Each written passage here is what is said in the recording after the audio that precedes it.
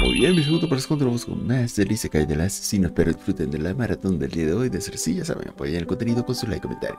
En el video anterior pudimos ver que estaba por dar inicio a lo que es la ceremonia de premiación para nuestro protagonista, premiación entre comillas, ya que lo que van a hacer es darle el rango de santo. Esto se coloca mejor y mejor. Por otro lado, hay algo que está teniendo lugar entre bastidores, en las sombras, y creo que Naoi se tiene que ver con ello. ¿Qué piensan ustedes? Estaré leyendo sus opiniones, pero por mientras, comencemos.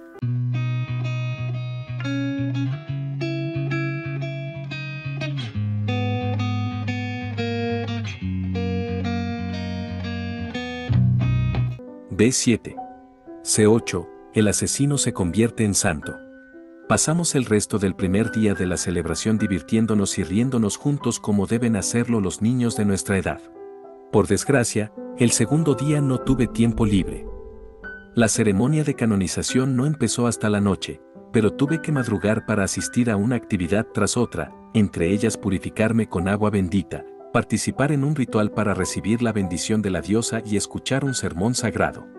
Era más que tedioso. Antes de darme cuenta, el sol se había puesto y faltaba una hora para la canonización. Los últimos preparativos estaban en marcha.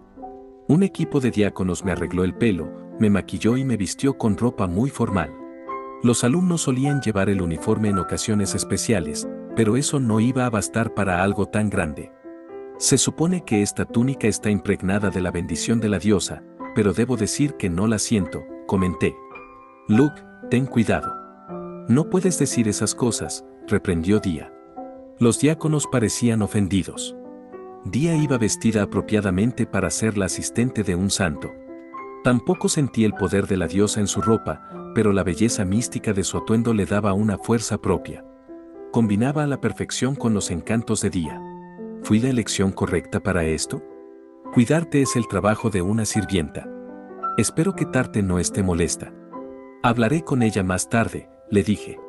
Solo podía llevar a un asistente a la ceremonia de canonización. Día fue mi elección inmediata. Siempre me eliges a mí cuando solo puedes tener a uno. Me siento mal. Elegiré a Tarte la próxima vez, entonces.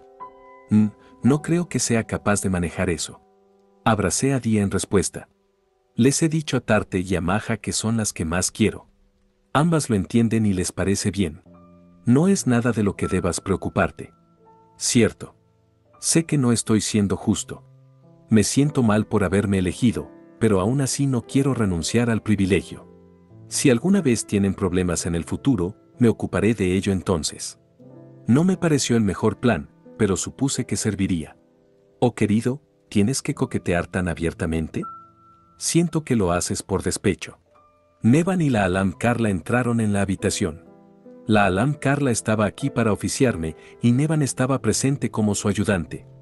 Piensa lo que quieras, respondí. Estoy celoso, admitió Nevan. Ignoré sus burlas y le hice discretamente una señal encubierta. Era una señal que todos los nobles albanianos aprendían, igual que la que el duque Romalung había utilizado durante la reunión con los cardenales. Le dije que quería hablar a solas. Respondió en señal de reconocimiento. Después de escuchar una explicación de los procedimientos de la ceremonia de canonización, Nevan y yo encontramos un momento libre para escondernos detrás de un gran tesoro de la iglesia y una pila de cajas. Supuse que allí podríamos mantener una conversación privada. Nevan sonrió. ¿Me estás invitando a una cita?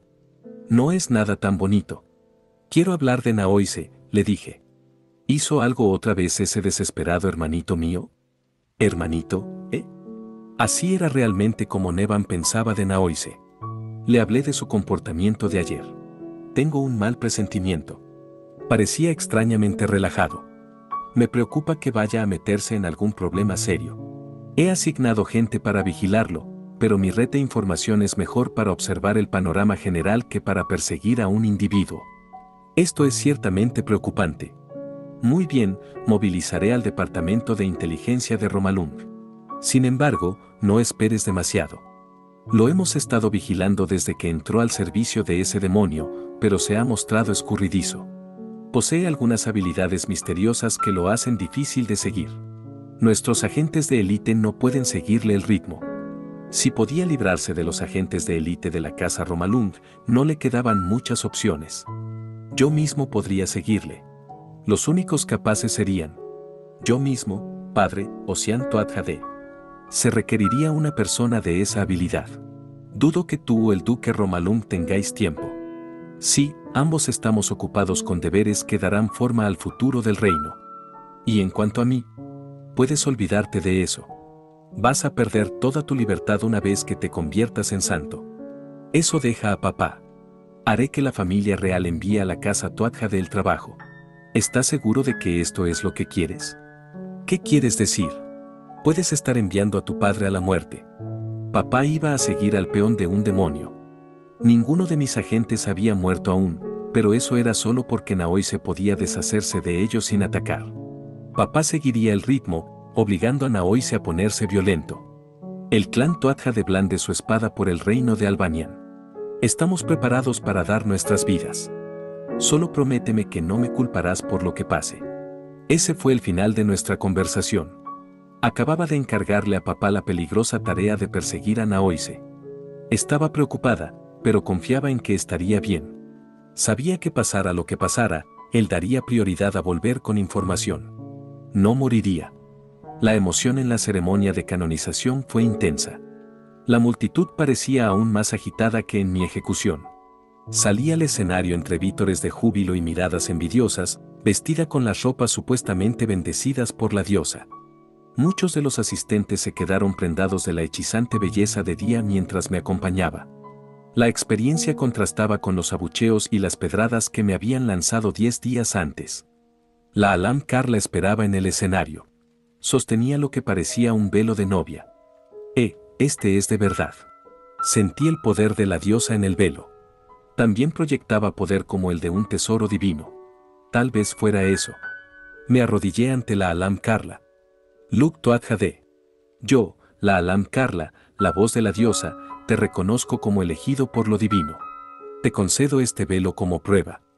La Alam Carla colocó el objeto sobre mi rostro. A mis espaldas estallaron vítores ensordecedores, creando una onda expansiva que hizo temblar el velo. Ha nacido el octavo santo de la historia. Luk Tuathade nos salvará a todos expulsando la oscuridad de los demonios. Uníos todos a mí en la oración. Los vítores cesaron de inmediato. Decenas de miles de personas cerraron la boca y los ojos.